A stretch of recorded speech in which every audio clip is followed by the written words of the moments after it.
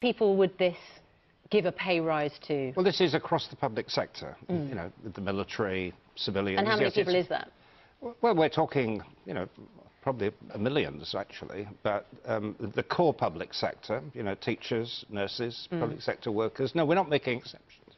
So about 1 million people, 5 million people? It's probably about a couple, I would thought, yeah, A, a couple of million, so Yeah. 2 million people. roughly, yeah.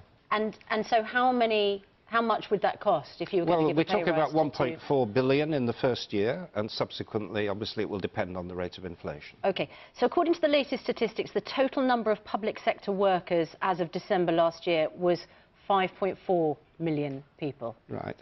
Well, there's a whole lot of people in the public sector who are subcontracted, uh, but the core public sector is, I think, as I suggested. But we're suggesting that everybody who is on the, you know, who is covered by public sector pay agreements, which is what we're talking about, subject to public sector pay bargaining, should be covered by this agreement. So is that 2 million people or 5.5 million people? Well, of, of course, it, it depends how much the public sector pay bargaining bodies cover, uh, and you know their subcontractors and, and, and other relationships. They would then have to negotiate that. in And how many people is that?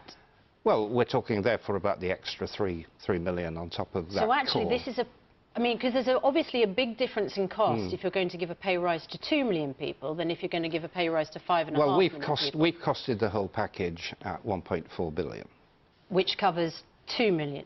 And it covers the whole, the whole of the public sector, and on Wednesday morning we'll be setting out in detail exactly how this works uh, and who goes to pay for it. So, so the I'm, one. I'm a bit confused. Hmm. Is does that cover two million or 5.4 million? Well, it will cover the, everybody who is on the public sector's How many books. is that? Well, uh, as you say, five million total public sector Well, you workers. keep saying but two pe- million.